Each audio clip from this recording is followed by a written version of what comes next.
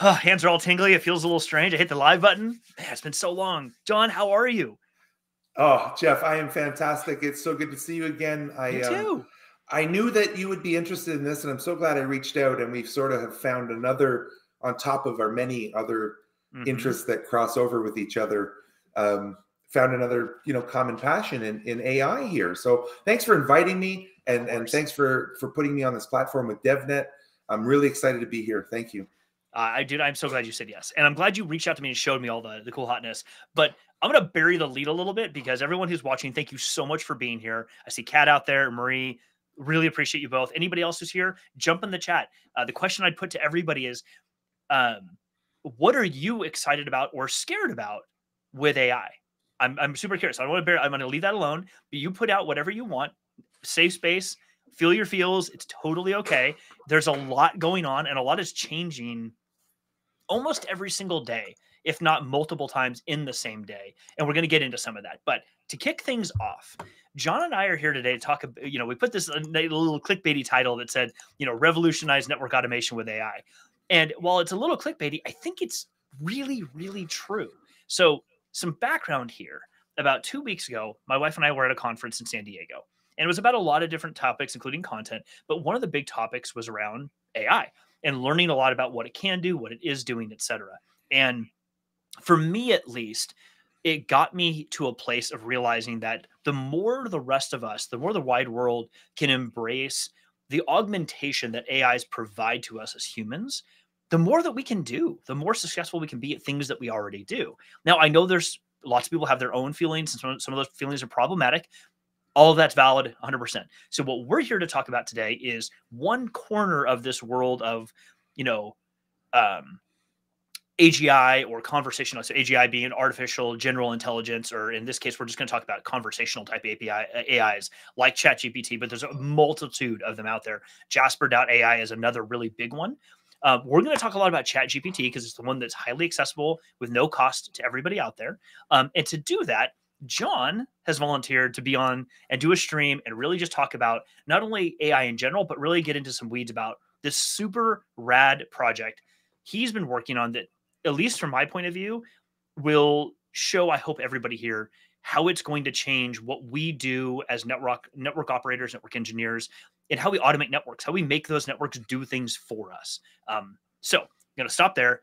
John, it's awesome to have you here, buddy. For everyone who's watching the stream and who doesn't know you yet, you might give it a little bit of like a kind of wax poetic about who you are. Sure. So, um, John Capobianco, I live just outside of Ottawa, Ontario, Canada. I live actually live on the Quebec side of the river in a little village called Val-des-Monts. And um, I finally have high speed internet out here. Thank you for all your support over the years on DSL. But I um, I joined Cisco a year ago um, in a role with the Cisco Training Boot Camps team, and we do automation boot camps and product boot camps and we have a landing page. If you're curious about the boot camps, we can take that offline. Um, absolutely loved my first year at Cisco, Cisco Live and Cisco Live EMEA in Amsterdam, and meeting wonderful people like you and really collaborating. Mm-hmm. Um, in my free time, and people know this maybe through my Twitter or my LinkedIn and stuff, I'm constantly just mm-hmm. trying to write code and have fun with Python and, and network automation in general. And I've picked up a lot of tools along the way. And then I got thinking just a few weekends ago, this is only about three weeks old how could I take advantage of this new AI capability? And um, and one thing I want to highlight to people is, yes, there is a GUI that you type in, and you've probably done that or played with that. But did you know there is an API and a Python SDK that is ready with OpenAI? So we can integrate it with our Python code and our scripts. And in my case, what I started with was PyATS jobs. And here's my thinking, Jeff, because we have this capability, it's a simple API call. When a test fails, let's just pick one interface discards, fails. Could I then send questions to the AI with that context of I have input discards on an interface, and then we start talking about prompt engineering and the questions and answers. Mm-hmm. And that's where I really started with this. And it was remarkable. It, it really opened my eyes. It was like, wow, what a a watershed moment for me to see this because the answers were good. It was fast. I could build it into my code and my logic. So that's sort of where I started. And now I have a bunch of user stories. you know, you, success builds on success, and ideas spawn ideas. So I have a bunch of user stories that I'm hoping to, sh- to share today. Eventually, we can talk a little bit more, but um, that's sort of the genesis of, of of what I wanted to do was actually take it and and think of it this way: we have WebEx APIs, Google APIs, Twilio APIs, Azure APIs, uh, Cisco APIs, all these different APIs. This mm-hmm. is just another new API that's been available to us. And it works like most other APIs. And for network automation, very specifically, could I take something like a failed test, the state of an interface, the running config of a device, um, right? There's possibilities are endless, and I'll show you some use cases. Mm-hmm. But get AI's help. Like you said, the word augmentation, and that's the key here. Could I augment my own capabilities with this tool to help give me at least its best guess, its best answer. Exactly. And in most cases, it's been high fidelity answers that will actually be helpful. So in my current role, you know, this isn't maybe as applicable, but I try to put my hat on of when I my previous role of a senior architect in a very large public sector organization running an enterprise network, a data center, a WAN, wireless, security, identity services, you name it, all these massive services with a huge team of operators. And we just try to keep scaling with more and more people to throw people at the problem, right? Mm-hmm. So I think in those terms, if I was doing that job and this tool was available to me in that job a year ago, how would I use it mm-hmm. to help my team and my operations and overall the quality and the stability and the security and all those great things about the production network? Could I get insights from AI that maybe a human might miss or might not might misinterpret? So that's been my journey, Jeff. What about have you done anything specifically like that that's caught that really like yeah lit your fire with this tool? First off, before I say that, I will say that um, two things. One, John McCrate, who's uh, McCrate, John, I hope that's how I'm, you pronounce your last name. Um, maybe it's McCrate. I'm not sure. Um, your comment a second ago, I, I, love that you put that in there. Um, I am Ivan. I'm happy you put yours in there too. John, I'm specifically like this because you're calling out exactly what I believe uh, AI is fantastic at doing. So now I'll kind of answer your question, John, which is, and you leaned into that word I had mentioned earlier, augmentation. So anybody who knows me, if you can't tell in my background, I'm a massive Star Wars fan massive. Matter of fact, one of these days I'm going to make a little box to go over my heater air conditioning unit here to make it my little R2D2 droid in the shed. Um, but droids are how I think about what AI is. And it's the thing that made it, all this click for me recently was if you're a Star Wars geek like I am, if you've watched any Star Wars, all these people have droids. Droids have a finite data set in them, but it's a massive data set. And they can answer just about any question you might have or give you guidance on almost anything you might want from that data set. They can always download more data, but it's a say it's sta- like a, a preset. It's a finite amount of data, and you can ask them questions, and they will give you responses. And then the human or the sentient being, in this case, um, not to be xenophobic, still has to take that information and do something actionable with it. The droid, well, droids could fly a ship, what have you. It really needs the data coming from the one augmenting the the being to do something intelligent, and that's how I think of AI, and where I think to John McCrate's point here, where I think AIs can really be immensely powerful for network engineers and people who want to do some form of automation in their infrastructure, whatever that looks like, um, because it takes the repetitive stuff that computers are really, really good at doing, gives it even more insight, and lets it handle some of those things for you. You still have to give it what you want it to do. It's not going to it's not it's not actual intelligence. There's no feeling, there's no emotion here. It's just going to respond to a thing that you provided it and it'll give you the the likely next set of words that would match that. So you have to guide it. So one doesn't work without the other, but or yet in my opinion, anyone who's not willing to sort of at least entertain the idea that this this augmentation can really value uh, create value for you in what you do every day. Um, I think I think you're doing yourself a disservice. And I'll explain. I'll tell you the places I'm. This has really been helping me. Is um, I am not a great copywriter, meaning write actually writing things. I'm really terrible at. I can dictate. I can sit here and talk and like just come up with stuff off the top of my head and feel very comfortable with it. But if you said, Jeff, that was all great, you should go write that down. Cool. And then I would sit down and completely draw a blank and have no idea what to write. So what what AI, what ChatGPT specifically has helped me with, and my wife uses Jasper.ai as well. So we kind of work them in conjunction with each other is I can feed it an idea and a, a prompt with context about what how I want it to think about itself. Here's what I want to write something about. Here's all the technical things I can think of in my head. Here's the tone I want it to use. Write me a 300 word blog post or something. And it comes back with that. Now, am I going to use it the way it came back? No, not at all. But it gave me motivation to go, cool. I don't talk like this, but now I know a better idea of what I want to actually write and I can go break it apart and move things around or delete it and start over. But it got me to a place that I wasn't at before. And to me, that is super valuable. Now I'll add something because you I was channeling you a little bit in San Diego a couple weeks ago when I was at the conference and learning these things. I'd come out of an AI session, wife and I would sit down. She's like, "Here's what you're going to go do," and so I did it. And I there's a presentation I've given a few times about work life rhythm, and I decided from some feedback I got during the last presentation there, some people was like, "Oh, I'd love it to have more technical, some technical component, not meant to be a technical presentation." I'm like, you know what? Challenge accepted. So I sat down and said, "What would be really useful?" And I said, "ChatGPT, tell me what would be useful in this presentation, you know, with this topic."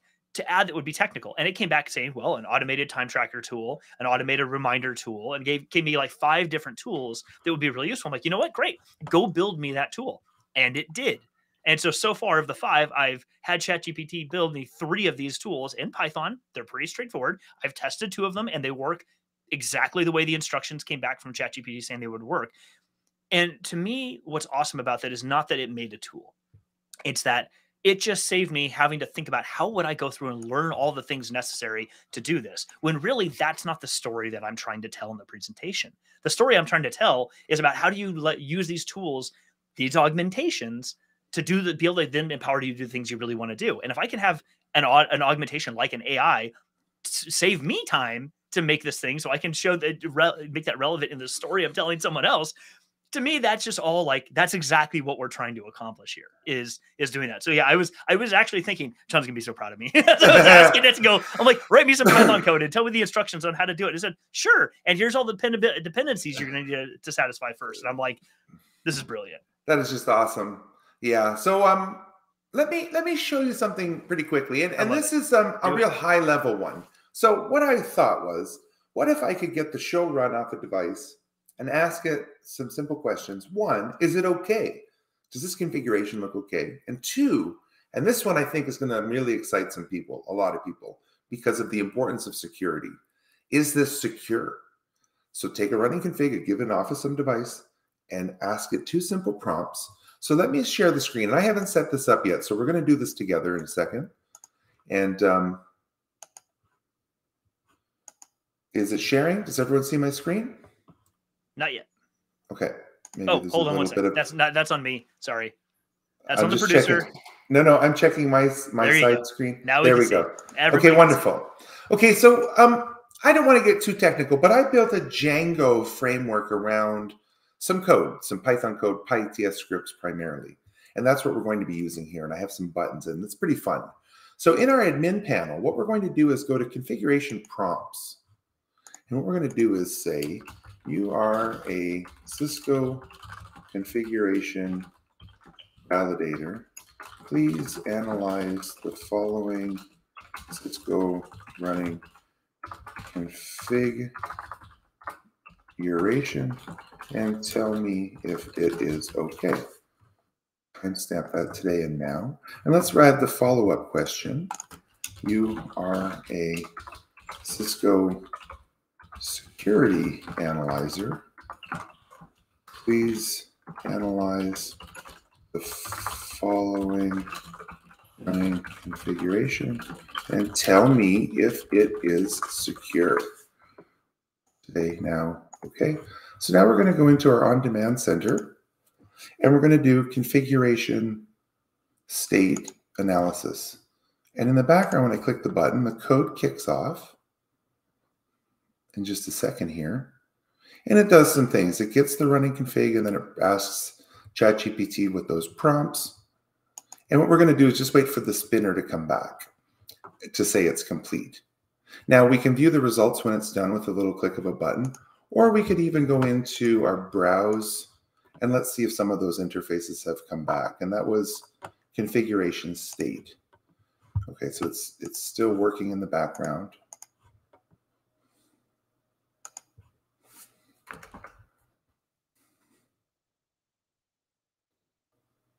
And I'm not sure if it's hung up or if. Uh, so there's the running config. I've asked it. It might be waiting for the chat GPT to come back with an answer. So obviously, as, as it's working through for anybody who's watching right now, John or Sean or anybody else, uh, obviously this is one of the challenges with the current iteration of ChatGPT. As one example, is that it isn't always available because lots and lots and lots of people want to use it. So sometimes the response times don't quite work the way that you anticipate. But the good news about that is this stuff is changing almost every other day. Like it's it's being added. I mean, they only just recently added the subscriptions to ChatGPT, so you can access GPT-4, which does take longer, but you get more high fidelity responses with it, which I, I'm using myself now too. Um, but the fact that you were even able to make those calls to begin with, John, is pretty cool. Okay, it's um it's answering now. I apologize. Am I still sharing my screen? Nope, it dropped the share, but you can bring it back up. I apologize. It did. It was the um, API just sort it's of okay. uh, Oh, Worries. up See, this is this is why I love doing live things like this, especially when it comes to code, because for everyone watching, what you what people are going to see is that like you're going to have to deal with these problems, no matter what you're working with. You're going to have to deal with these things sometimes on the fly. The demo gods are not always good to us, so Right, sometimes so- you just have to do it. So it asked the first question, and we can actually refresh this, and it gave us kind of a wishy-washy answer. So what I record is the host name of the device, the running config that we fed it, and then our prompt or persona, excuse me, your Cisco configuration validator. Please analyze it. Is it okay? And then it says the configuration appears to be valid syntax-wise. It's difficult to fully validate without other knowledge of the topology requirements. So kind of an agnostic answer. Let me refresh. Is our explain it like I'm or is it secure yet might be still running and um, again it's it does appear to be um, the api is is very slow but we did get the first answer so uh, maybe we picked a bad time to do a demo in the middle of the day with the chat gpt 3.5 because it's busy but that's that's sort of the idea i'm going to stop sharing the screen i mean if i get it if, if i get the answer to the next question but um, let's you know let's talk about the, the maybe the implications of the, the ramifications of that we actually have Well, actually, so actually, pause for one Yeah. second. Well, before you get into that, because I, I want you to do that. Let's let's take a quick step back, and I think it'd be really interesting for. And Sean Dahlberg chimed in a second ago. Yes, Devi Devi is here in my my shed studio. Devi's on John's wall, hanging out there on John's wall. Devi's always everywhere. Um, let's take a step back for you. Um, what if there was if there was one thing? Maybe there just wasn't one. But if there was one thing that sort of triggered you to say, I want to try not just doing this with ChatGPT because you were you're always you're, you've been working on PyATS stuff for a while. You helped co- co-author a book, like you've been doing a lot with that product. That product. When it comes to leveraging ChatGPT as an example with PyATS for this project, what what sort of motivated or inspired you to even go down this path? it's funny it's a good question i don't i don't always know where these sparks of inspiration come from um, i really i found a repeatable sort of pattern and you know it builds on something like blender or google text to speech or some even django itself you know wrapping a framework around PyATS with django I'd like to just explore um, someone in the community and they'll know who they are. I don't want to call them out by name but they call me a cave diver and i always seem to be diving in caves and exploring and looking for new things and exploring the latest thing and and some caves come up empty. You know there's nothing in them. It's a dead end. It's been a waste of a dive but this one i feel like there's been a treasure chest of gold at the bottom of this particular chat gpt cave because everything has worked out so well now i know the demo is a little slow because the uh um you know, I'm getting some API call errors because of the chat GPT, but but that's okay. Uh, I'm glad at least we did get the one configuration analysis, and I'll try this again in the background while we're waiting. Um, but in terms of what inspires me, you mentioned droids. I think about my first interaction with with something digital, and I was very small and very young, and it was a speak and spell. I don't know if people today probably have no idea what this is. It's a small little child's toy that you could type in words or letters and hit speak and it would read back those words. Now, it might seem quaint in 2023, but in 1983, that was pretty remarkable. And if you look at the history of this technology, it was actually the first human voice synthesizer was in this toy. So that's sort of what I'm like.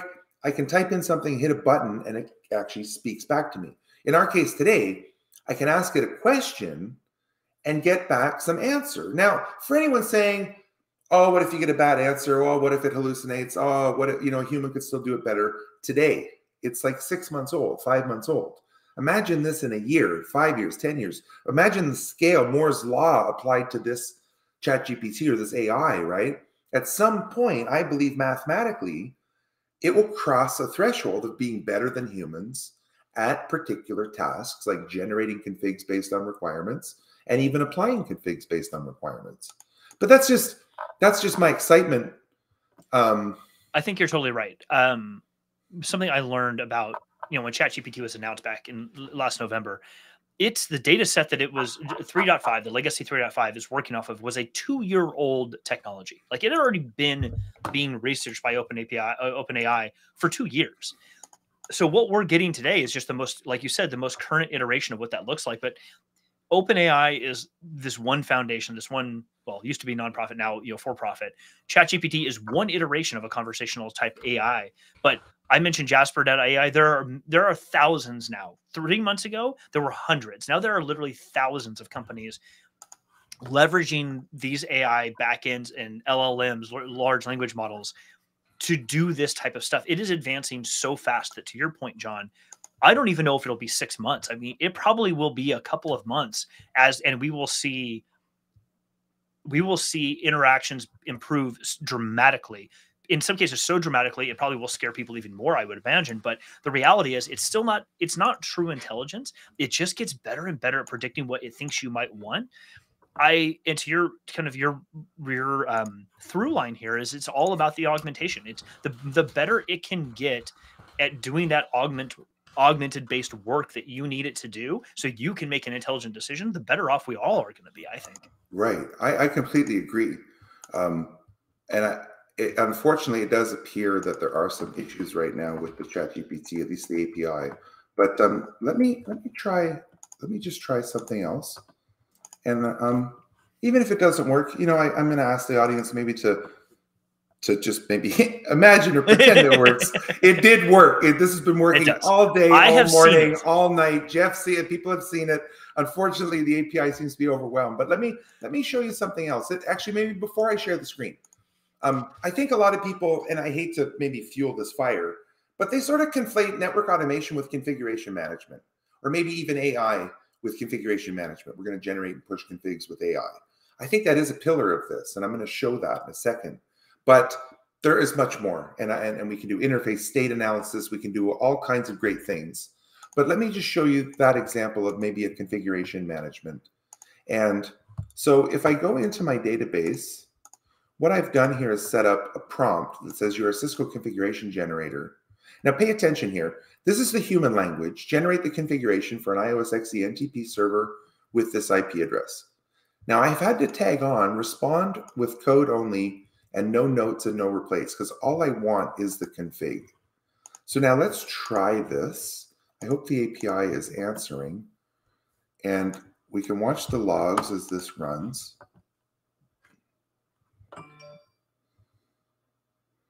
Now it's at the chat GPT part right now. It's asking the question. So if this, you know, if this hangs up on us, we might just have to give it time for the GPT to answer. But um,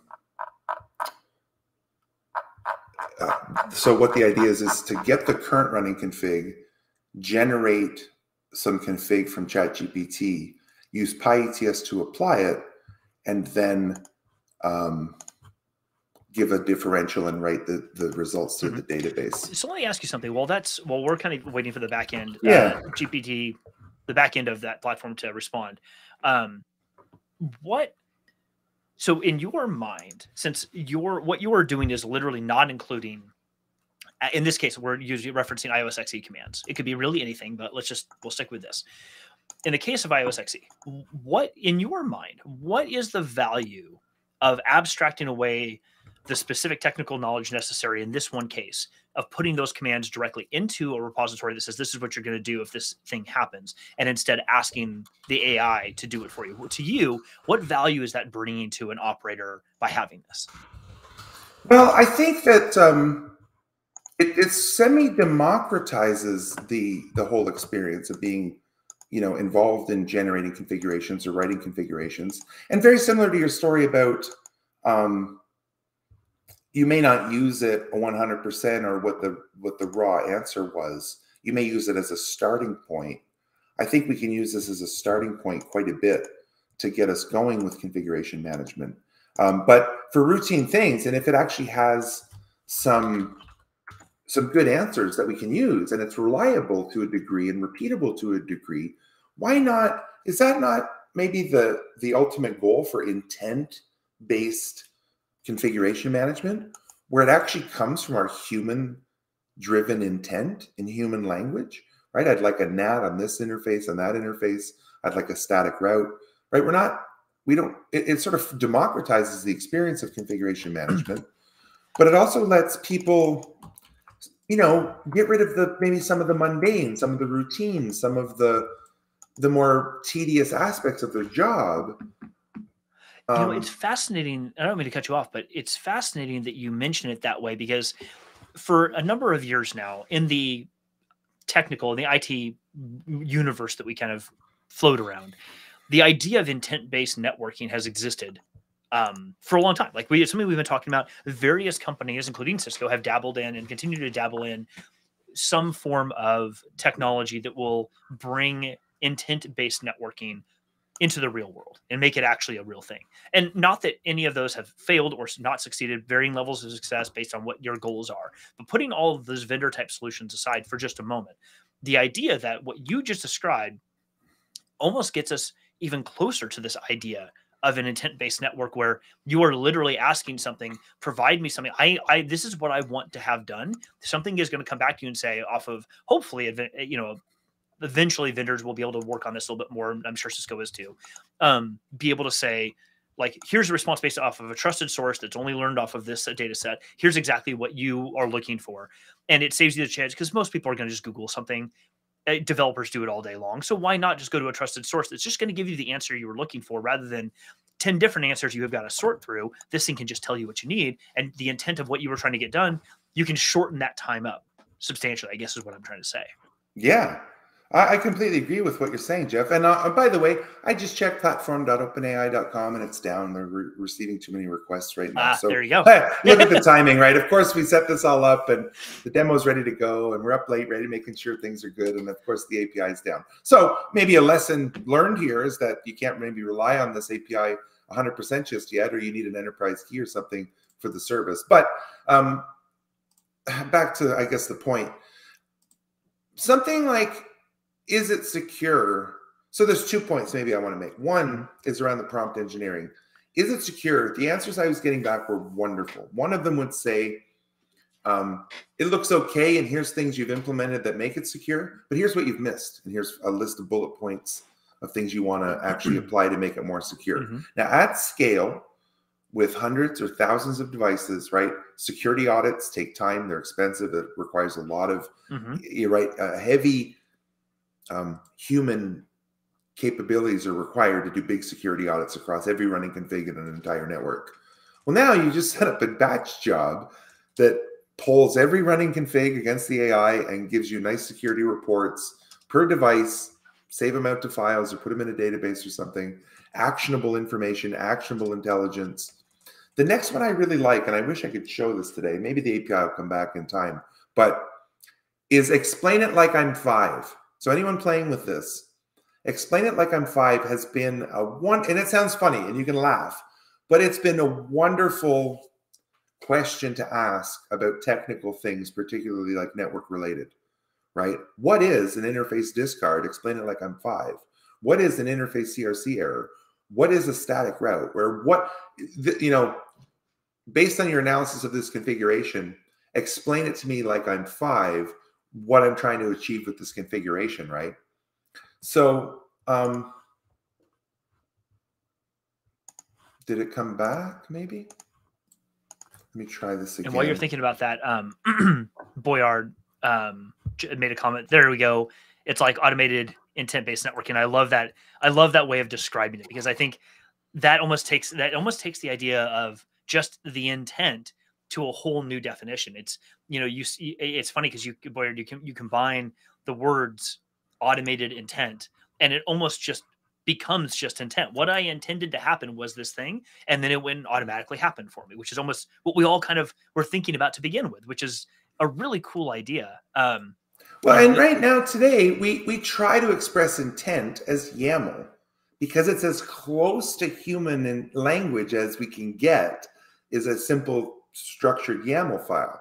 That's what most intent-driven automation, mm-hmm. Ansible or PyATS or whatever, right? It comes from like a YAML structured file. Well, now we've got a step further and made it a human sentence that anybody could understand at any level of uh, of the organization. Right? Yeah. So there's actually one of the comments that just came up while you're still pulling that up is I'm going to bring this up from John, and it's it. I, we all laugh because it's a funny thing to think about. But here's John. I'll give you John Crate. I will. I'll give you some uh, uh, something that was said to me or said to an audience at a conference I was at uh, a couple weeks ago. And the, what the person said was primarily talking to marketers, but what the person said was to a, the common question that everybody was asking, and that's this is not quite what you're saying here, but the, these folks were all saying, "Oh my gosh, with as simple as this stuff is, are marketers or copywriters going to be out of a job?" And the person said, "No, absolutely not. What you what will happen though is anyone who doesn't adopt AI as an augmentation to the things that they do to speed it up and make it better and whatever else, those people will likely end up being becoming irrelevant and struggle to find new jobs. Whereas people who do adopt these things and find ways to work it into what they're doing will just become more and more successful. So kind of taking the the humor, unfortunately, I'm going to take the humor out because I'm just going to be a buzzkill for a minute. I'll take the humor out of what John Crate just said here, um, McCrate just said here a second ago. But I, I want to get to it that I don't think that even if uh, an LLM gets to the place and the data set it worked off of is able to predict, to your point, John, um, the state of the network along with generative examples and all that i actually don't think that's a i think that's a really good thing. It's something i've talked to a lot of people about when i've when i used to talk to people who said like well i don't really want to automate. This is the very binary extreme view of it. I'm not going to automate stuff because i'm a ccie and my value to the company is all that stuff that i do. It's like if your value to the company is your finger ops like how fast you can type commands at a keyboard that doesn't make you very valuable. What makes you valuable is how you and your experience and all of these years can take all this information disassemble it and then turn it into really good actions and solutions for the business. That's what humans are amazing at. The stuff that actually is being described when we say can we just merge the state of the network along with a generative example of what to do next? If it wants to give it to us i don't necessarily want the ai to then go automatically input that content directly and without some sort of human checking it or some other controls in place. But if it wants to produce those things based off of data sets it can do substantially faster and probably with a lot less error than I can do or another person can do, heck yeah, let it go do it. So I can, or you, John, or any of us can get sit back and say, now where do I want to point that? I'm at this company. Here's the problems we have. Where do I want to point this powerful technology to then solve for the next problem that could really advance the business forward? So to me, it actually turns out to be a really powerful tool. Um, you got to like the old Google saying, "Don't be evil. you can't. Don't be right. evil. Don't put it out there in a bad way. Become Lex Luthor." But the reality is, I think it just it again becomes an even more powerful augmentation to the things we've always wanted to do, but never really knew that we could do it without somehow manufacturing all these technologies that didn't exist. We're starting to get that technology, which I think is rad. And John McCrate, I know you were trying to be funny, and I I'm sorry for being like a total serious serious nut about exactly what you said, but I thought that might uh, it was something I really wanted to chime in on. No, that's great. I um I I'm I'm sorry. I'm I'm a little distracted. I think that's it's okay. maybe hobbling back into service now. I'm just checking. So well, that's okay. You keep doing that. Um, I'll address some of these other comments because it's a good time to kind of take a yeah, break. let's catch up. Um, and Wert, uh, Wharton one put up a question saying, "Is ChatGPT made by Python, or there other used, or there were uh, used various languages?" So that's a really good question, Wharton. Um, it kind of gets down to the root of like, what are these these AIs, or what where rather than the AI, the language model, the LLM that was used by that was built and trained by OpenAI, the organization that ChatGPT is a front end to get into. Um, I'm oversimplifying that a bit, but just go with me um, that LLM was trained on a data set that was essentially the entire internet for a period of time. And so nearly every out it, eh, it, eh, like um, openly available coding language, a programming language on the internet that you can find, ChatGPT can probably write that language for you. So, for example, if you went there, not right now, because clearly the APIs or the backends have a little problem, but normally go there and tell it, hey, I'd like you to build me, in this example, Python, build me a build me a program written in Python that accomplishes this one task. It will go do it. But you could say the same thing in JavaScript and in Go or in React or whatever you wanted, and it would go do that too. Do you need to double check it? Yes, absolutely. The data set is relatively, it's a couple years old, so it's probably not super current. Some of those commands may still work perfectly fine, others may not, but they are getting better. And the and the data sets are improving and the efficacy of the work that it's doing is improving. Um, but to answer your question, it's not built off of any one language. It's a the language model was trained on vast amounts of information to do what Chat GPT does. So you can ask it to build something in almost any language you want if that's what you wanted to try, and it will make it for you. And you can even ask it because it's conversational. You can even ask it, hey, not only write the code, tell me what dependencies I have to install first. Give me a step-by-step guide on how to actually deploy this code. It will do all of that for you. Hope that helps, Gordon. Issue came in and said creating an audit. Here, I'll throw up on the screen. Let's see they said creating automated troubleshooting and remediation using AI will cause a lot of disruption. Totally agree. Imagine going from solving an incident to providing problem analysis and hardening recommendations. 100%. Like, why not, based off of standard data sets, standards we've all agreed on, let an AI say if, if you want, if your company wants to train something, then say reference this data to create recommendations, it should be able to do that for us. Like, it, it, the, the possibility exists it's being shown in chat gpt a company just needs to put together their llm train it and then present a front end so that you can interact with it. But yes why not do this and let it provide those recommendations? You create the report so humans can discuss that figure out the budget who's going to accomplish it how you're going to do it when it's going to be done the right times for the business. Those are all things that an ai isn't really adept at doing and we really probably shouldn't give it to an ai but the reviewing of documentation and validating if this plus this, then this. That's exactly what computational systems are for. Like that's what they do better than anything else. Let it do that. The better we train it, the better results we get from it, in my opinion. Yeah. Yeah, so that would be where I'd like to close the loop maybe on some of my code is to add sort of like a, you know, yes or no, this was a good answer, or, you know, some feedback or a follow up. Here's mm-hmm. here's the information you gave me automatically follow up with some questions? I like that a lot. So it, it basically leveraging the power of the backend AI to give a and I don't mean to be I, hopefully this doesn't come across as demeaning to anybody. I do not intend it to be. But if you're a, a, more senior person, let's say someone like you, John, and you're working in an organization and there's some more junior people, this could be a really good opportunity to provide some training to them um, that is basically on the job training where they get to interact with an operational system.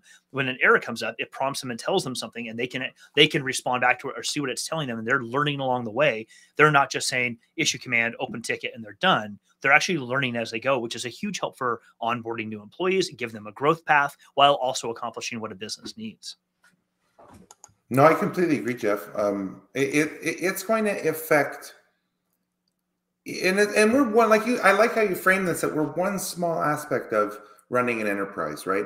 I'm sure there's people in security out there thinking about this. I'm sure there's people in right a variety of of fields that are thinking, hopefully, how can I use this? How could I make some API calls? How could I even maybe even just use the GUI? So it looks like some answers are starting to come back. Oh, good. Let me let me just go into my um, results center. I'm not sure. Let's just see if there's any answers in here. Uh, from oh, some this of our one. Questions. While you're while you're doing that, Boyard had a really interesting comment. I'm going to throw up on the screen. Using Chat GPT to help manage the alarm avalanche. Oh my God! Can you imagine an ops screen with two or three relevant, actionable alerts instead of thousands of squelched ones? like, dude, you're sorry, you are speaking my language right now. Having, you know, back way back in the day, early 2000s, having like basically Kiwi syslog up on the screen and trying to trying to write search strings to figure out is that is my VPN tunnel coming up among the 10,000 other logs that are coming in this second. I got to see all the icon ISAKMP things in there to try to figure out is this VPN tunnel coming up? That's what I needed to know. What if this thing could just tell you that? Like just yeah so here, here's here's that um, explain it like I'm five example, which is pretty neat. So what I'm using here also to tie in some other technologies, it doesn't have to be just routers and switches. There are so many APIs out there. So what I'm pulling is DNA centers issues and we see that there's a certain device unable to reach DNA Center. Again, this is a sandbox. This isn't any customer or Cisco data. This is just a sandbox.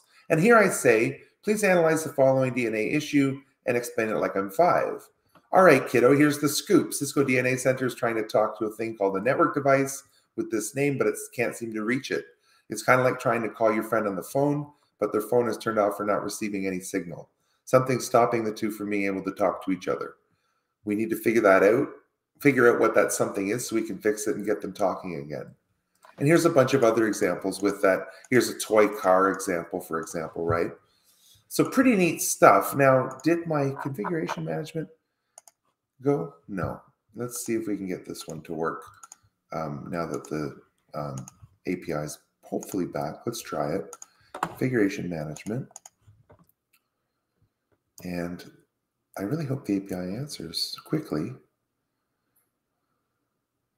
Yes, it did. Okay, so check this out. Check this out. Now remember, remember, I'm going to try to reconnect this. Our prompt in this case, configuration prompt, no, configuration management prompt,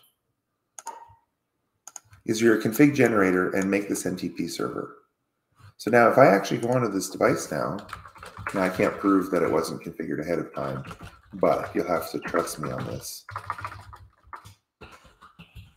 Hey, I'm glad the API is back. Show run with NTP. There is the NTP server. From human intent using pyats.configure to push the, the That device. Blows my mind. And Now here, let's do it. Let's do another one, Jeff. Now that it. the API is back, so we're going to add one here. Now I have some pre-canned prompts, and we're just going to steal one because it, it's sort of important the question and how we ask it. And I know that these are going to hopefully the API keeps keeps up with us today. So what we're going to say is a, is a static route. Okay, so configure, no, an interface, excuse me. Configure interface GI02 with this IP address. Now notice I say it in CIDR notation, and if anyone's configured an interface, you have to use the long form notation. So I'm going to see, I'm going to test the AI to see if it'll give me the right um, corresponding, you know, long form bits and enable the port right? Because if I, and let me prove to this, if I do show IP in brief, we can see GI02 is down and it doesn't have an IP address. So that's what we're going to try to change with the push of a button and a simple prompt. So let's go to the CLI and watch the job run. And thank you for your patience for everyone watching. Um, the, the API just sort of went flaky for a little while. And guess what? Show IP interface brief. It now has an IP address. Now it didn't seem to know. Yeah, it, it did know shut it. It just takes a second for it to come up. There So it gave it an IP and it came up. Mhm.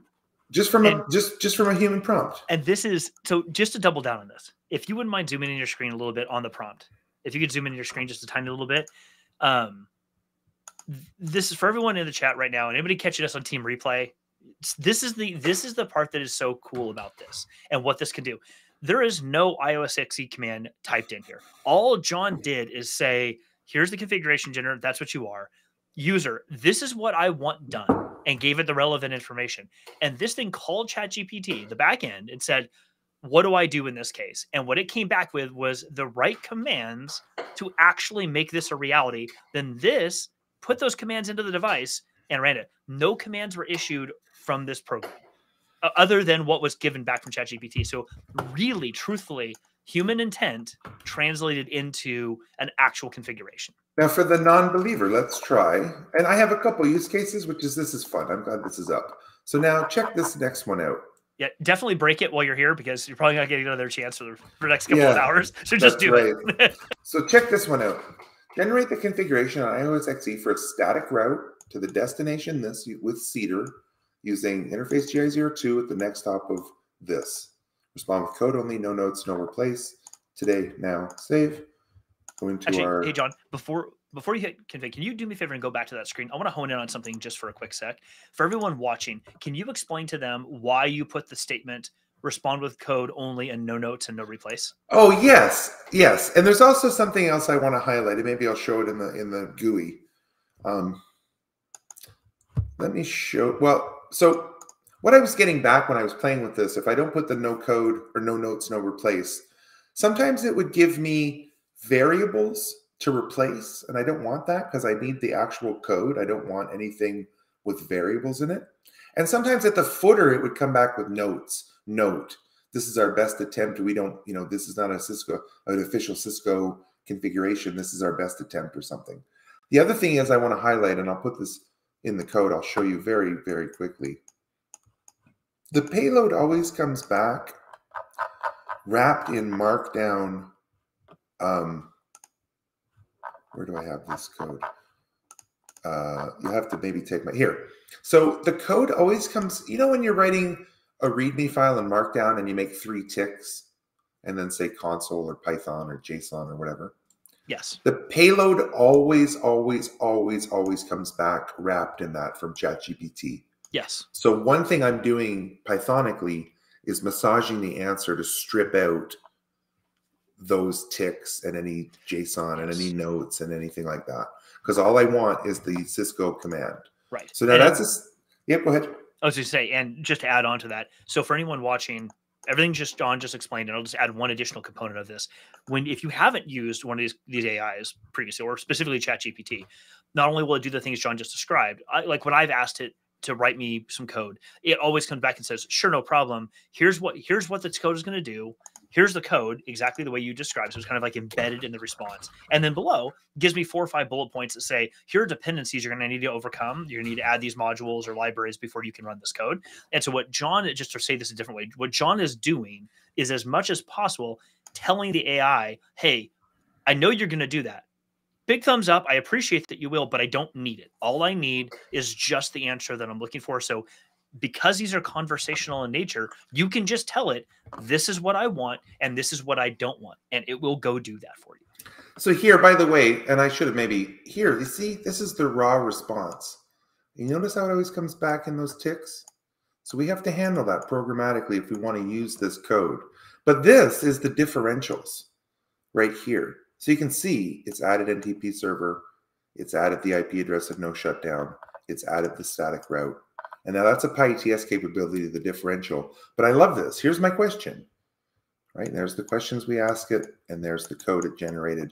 And we have a history of what was pushed to the device. Now, really, let's do something really far out there. And this one really surprised me that it worked. So I'm going to delete this. And we're going to say, you are a Cisco code generator. And this one is about I don't want to say about as complex as it gets, but it's pretty complex.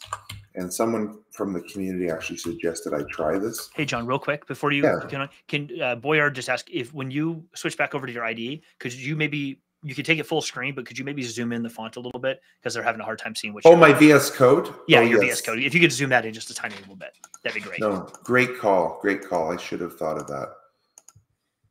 It's all good. And I'll do it one more time. That's why we have community members to remind us.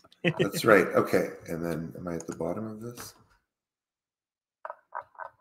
There we go. Okay. Okay. So now, so again, generate it for an inside outside NAT using interface this with an inside address of this and this interface with an IP of that as the outside address and enable the ports. A NAT.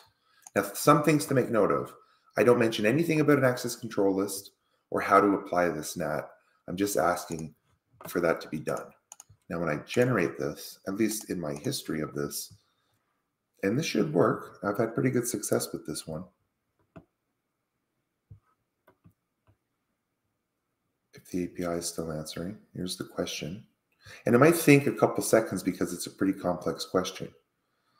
So there we go. Look at, look, look.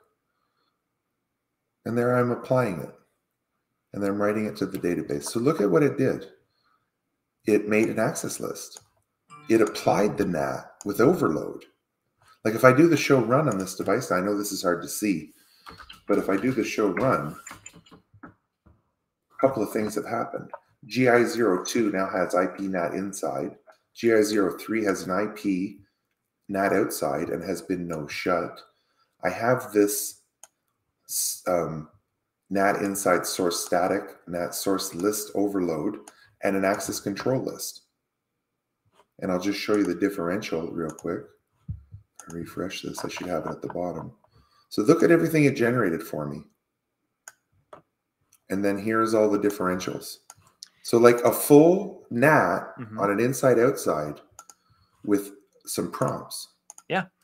You know it's interesting that you showed that last one. I i'm blown away by that last one you just showed. But you know, i think i think ivan's comment here really is very resonant. We should definitely address it because ivan to your point you know john in this demo that he's showing or this uh this lab environment that he's playing with is showing the possibilities all the way up to and including letting this to letting his program not the ai but his program uh, go through and push the config directly to the device and commit it and there it is. To your point not everyone is going to be comfortable letting the letting um, an application do that for them. They're going to maybe want tell me what it is, and I can go configure it for myself. Um, I think what's really valuable about what John's being able to show here, and you're I'm, I'm sure you're seeing this too, is that these are the possibilities. The possibility is you can do all of this up to and including letting a program or a tool that you have that is not the AI take that data once it's verified that that is what you want and apply it to a device for you would you always want to do that? And may, would some places maybe say there's security concerns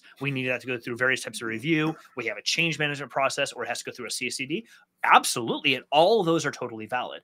I think what, what i find valuable in this is showing that it works it can be done knowing that the huge caveat off to the side here huge caveat is that that data may, always, may not always come back correct. It may be wrong it may be invalid it may break a device. All yes all of those things are true. But what is possible is that you can do this. This this whole idea of the art of the possible. This is possible. Doesn't mean you need to do it or want to do it, but it is possible. Exactly. You nailed it, Jeff. Thank you for saying that. And I I I repeat what Jeff's saying. Would you want to do this? Could you do this? There are different things. Can you and would you? Or but maybe at some point in time it'll cross over and be better. And this would actually be the preferred way of doing it. We don't know yet where this is going to lead, right? Here's something a little more grounded now that the API is answering, and I'll share the screen again. This is another fun little demo that I thought of. And this is maybe a little more grounded in reality. So what I'm going to do is I'm going to run show parse show interface and send it the state of the show interface per interface per device. I'm going to say your network state analyzer, please analyze the following state and tell me if it's okay. Now, as you may know, all the only thing in network state is counters and stuff, right? So there isn't really like some security concern here that I could think of. But let's run the code. And what we're going to see is it's going to kick off the PyATS job. And we're going to start parsing the interfaces. So this is the payload per interface that we're sending the, the AI and asking it that human question, does this look okay? Now, I think the AI, AI is starting to, to synthesize the question right now. And we should, if the AI is, if API is still up, start getting some answers back.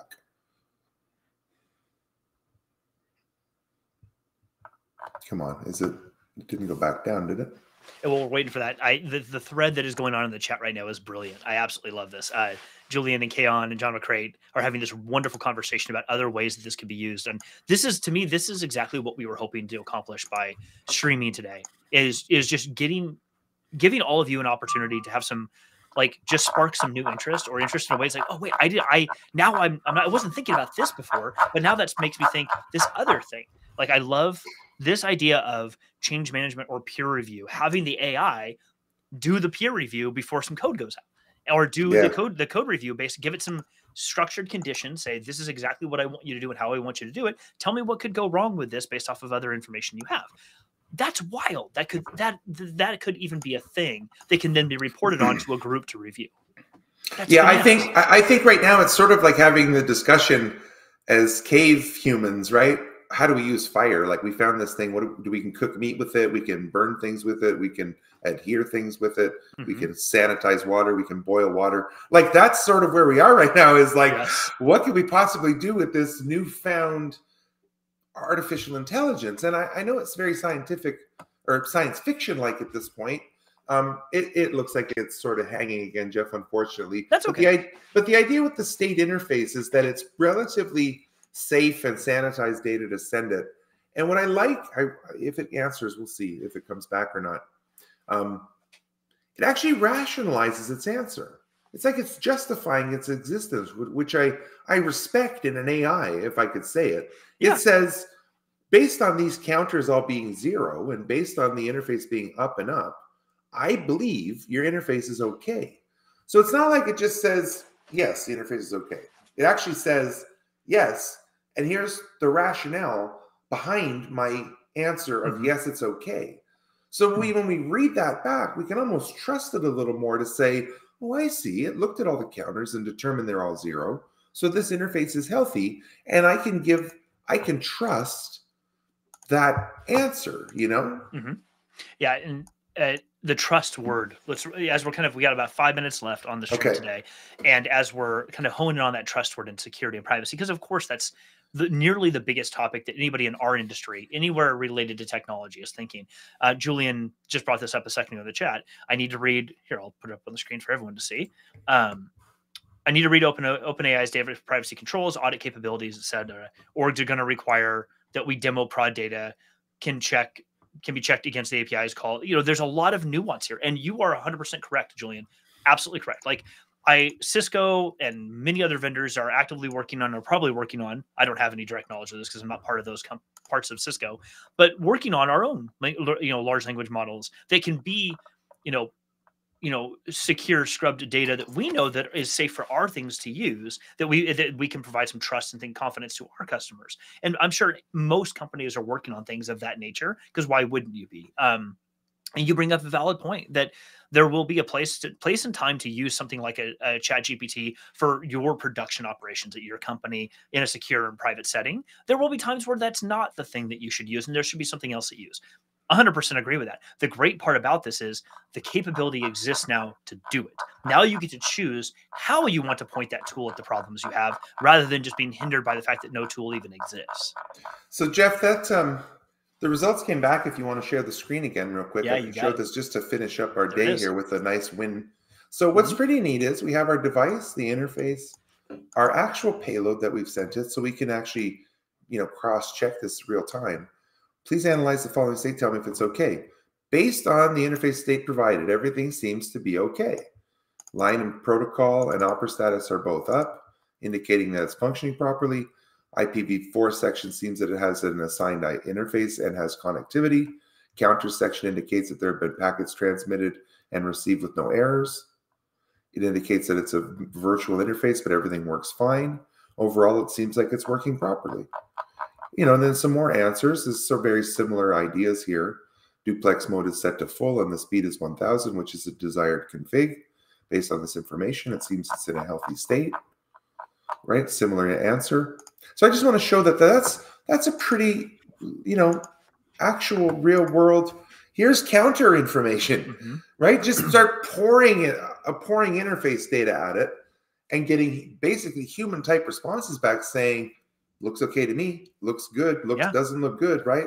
We could maybe even follow that up with a second question that just says, "Give me a your best yes or no answer," and then we could, you know, maybe color it if it says no. Maybe make that cell red this oh, interface is right. You know what? We should really spend another show. We should really talk a bit about a bit more about the the sort of leadership aspects of this because what you're describing right there is something that many people I've heard build and work and try to build in the past, where they. Um, and sorry, my computer might just slow down because out itself, um, as, as, it does sometimes. Um, is being able to ask a home automation device like, um, you know, Alexa. Oh, no, you stop I woke her up. Um, but Google Home, Apple Home, whatever the whatever Siri, whatever yeah. your home your automation tool to be able to ask it, hey, like I, I use it to turn on my lights here in the shed, my in my my studio here. I use A over here in the corner to turn on my whole system.